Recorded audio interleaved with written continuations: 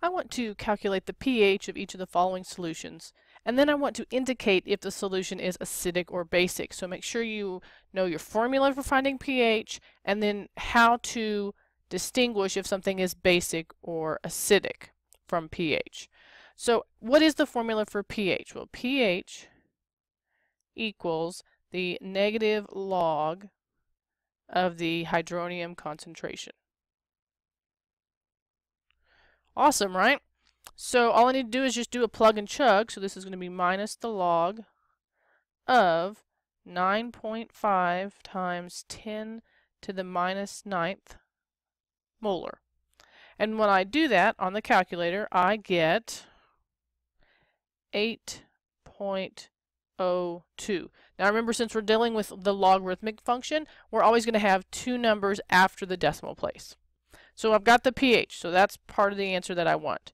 What else do I need? Well, I need to know is it acidic or is it basic? Well, if it's 7 is neutral, remember if it's greater than 7, it's basic. And if it's less than 7, it's acidic. So this one is larger than 7, so this is going to be basic. Now when I look at B, the difference is it's got OH. There's a couple ways to do this. I personally like to say that the POH is equal to the negative log of the OH concentration. I just find that this is a little bit easier for most of my students as well as for me to explain.